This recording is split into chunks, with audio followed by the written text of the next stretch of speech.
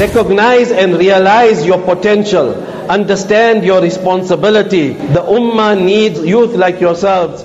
I do not know how many times I broke down in my heart and I make dua that Allah subhanahu wa ta'ala take the deen team from strength to strength.